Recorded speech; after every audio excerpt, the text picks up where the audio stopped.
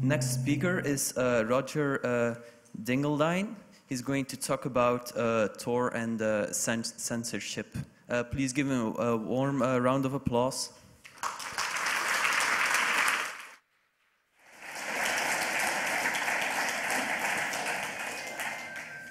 Okay, hi everybody. Please consider turning your cell phones off for the talk, as we've learned from the front row. Uh, so hi, I'm Roger from the Tor Project. Can you hear me pretty well? Am I too loud, loud enough? Thumbs up? Great. Okay, so feel free to uh, ask me questions for the rest of the next three or four days or something. We've got something like five or 10 funded Tor people wandering around here, so we're a growing project and we're all happy to tell you more about Tor. So today's talk is a little bit about what's happened in the past year or so in China and Iran and a bunch of other countries around the world. There seem to be a growing set of countries where censorship is becoming a real problem. It started out everybody's thinking China and Iran and places like that. But the set of countries, Vietnam, Tunisia, England, Australia, Germany, Venezuela, the list keeps growing and growing of uh, places that are considering censoring their citizens for one reason or another. So there are a lot of things we can talk about. I'm going to try to give you a bunch of different things to think about, and then maybe you can make use of that over the next year or so.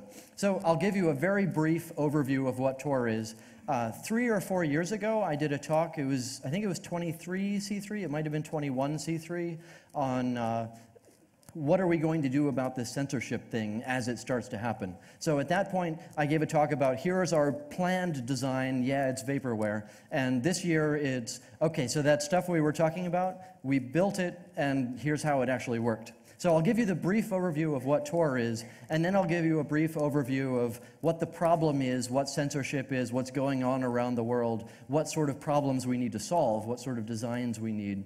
And then we'll get into the more interesting questions of what's actually happening around the world, what actually happened in Iran, things like that. So Tor is it's an online system for anonymity. The goal is there are 1,500 relay volunteers around the world, uh, quite a few of them sitting in this room, I hope.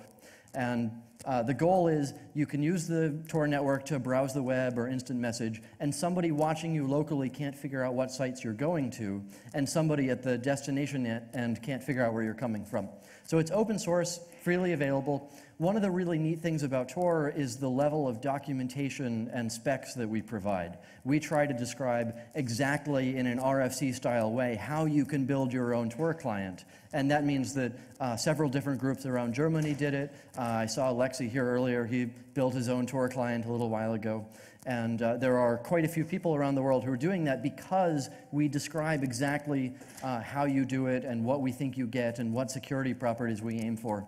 And that means that pretty much every university around the world that has people working on security have people working on Tor, trying to figure out how much security it provides, whether this new attack or defense works.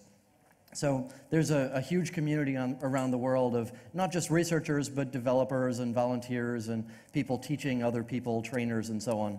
One of the neat things about Tor, we started out getting our funding from the US Department of Defense. And from there, we were funded by the Electronic Frontier Foundation.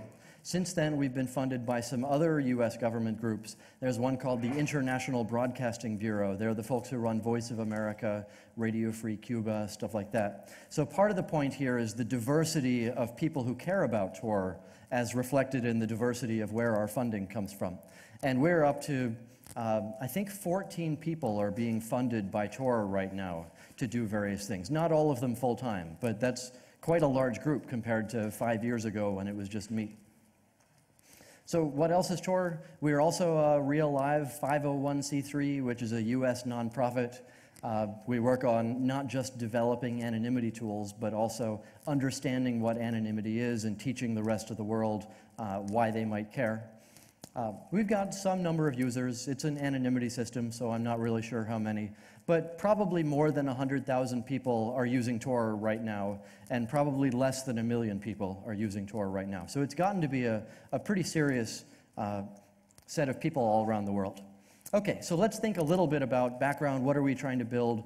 Uh, what sort of threat model do we have in mind? What's the, the big picture here in terms of what Tor does? So we've got Alice over here.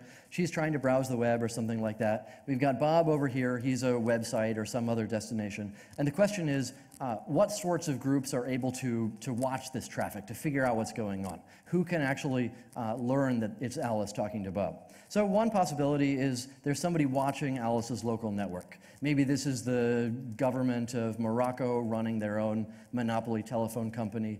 Maybe it's Comcast in the US watching its users. Maybe it's Deutsche Telekom. Uh, maybe it's uh, uh, someplace in Frankfurt that gets to watch a lot of traffic going back and forth. Or maybe the attacker's on the Bob end. Maybe it's the FBI watching Indymedia or watching WikiLeaks, and they want to build a list of all the different people uh, in their country or around the world who are reading the website.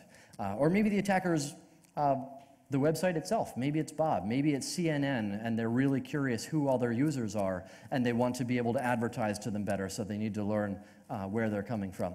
Or maybe it's somewhere in between. Maybe it's a backbone provider, Deutsche Telekom again, AT&T. Uh, maybe it's an intelligence agency that's asked AT&T to be able to monitor the internet for them. Uh, I don't know if you've been following the NSA AT&T wiretap story. So there are a lot of different places where the attacker could be. Um, and if the attacker's in all of these different places, then we're screwed. Tor can't protect against that. We'll get to that in a bit. So what else are we talking about? Uh, anonymity is not crypto. I talk to a lot of corporations who say, well, yeah, but I use a VPN, so I don't need to, I don't need this Tor stuff. I don't need privacy. I've already got my security. And encryption is good. You should use encryption.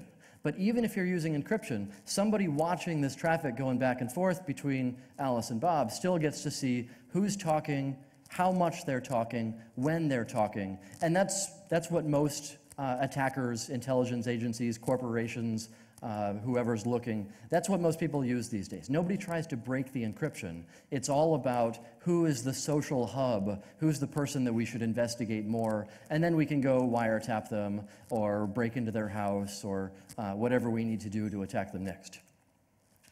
And then there are some other variations on anonymity that uh, we'd like to provide something stronger than. Uh, there are a lot of plausible deniability designs out there, like Freenet and some other peer to peer systems, where they say, Yeah, I was involved in the transaction. Somebody asked me for the file. I gave them the file. But you can't prove it was me. Maybe I was relaying it for somebody else. And that, that you can't prove it was me. Maybe it works in certain jurisdictions, but in some countries, like uh, all the countries I was listing at the beginning of the talk, if you're in uh, China at this point and the bad guys can narrow it down to six people, but they can't prove which one of those six people it is, that's not good enough. We need something stronger. And then there are a bunch of commercial anonymity systems out there, what we call single hop proxies. And the idea is all of the people put their traffic through that single hop, and the, the single hop, that company promises not to screw them. We, we promise we won't look at any of your traffic. Okay, okay, we look at all of your traffic. We promise we won't write anything down. Okay, okay, we log all of it. We promise we won't tell anybody anything we see. And we want something that's not based on, I could screw you, but I promise not to. We want something that's based on technology where there is no single location that has the information about which Alice talked to which Bob. So it's not a matter of, here's my policy that says I won't. It's a matter of, here's the technology that makes it so I can't. So part of the fun of working on Tor is the diversity of people who care about it. When it's only actually when I'm talking to researchers that I tell them about anonymity. When I'm talking to my parents and my grandparents, I tell them I work on privacy. Because anonymity, that's kind of weird, but privacy, good point. Everybody needs privacy. And when I'm talking to Google and Walmart and other companies, I work on communication security or network security. Because privacy, we're a company, we don't need privacy. But security, yeah, you're right, we need that. And when I'm talking to the US Navy or other government or military groups, I work on traffic analysis resistant communication networks. It's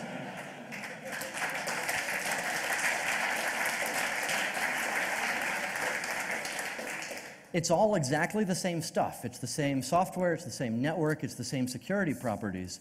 The question is, how do you phrase it for them in a way that, that makes them realize that they want it? uh, because they've got lots of security. They, they spend all day buying crappy security from snake oil vendors. So they feel like they've got enough security. But when it comes to traffic analysis resistance, good point. I, I do need to send my, uh, my agent to Israel, and I don't want anybody to know what his affiliation is.